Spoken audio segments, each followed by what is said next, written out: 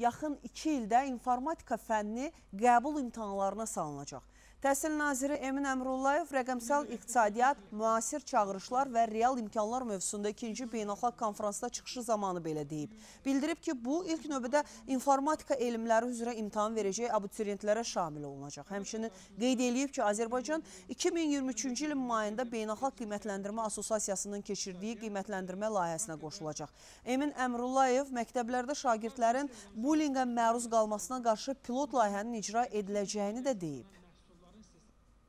Bir neçə min müəllimin təlim prosesi ə, bitib, təlimat formalarımız artıq hazırdır. Yəni ə, və sadəcə olaraq bu formatın belə deyək, tətbiqi ilə bağlı bizim ən böyük problemimiz pandemiya ilə bağlı idi. Çünki məktəblər özü-özü arası kəsilirdi və fokus olaraq biz daha çox buna fokus olmuşduq.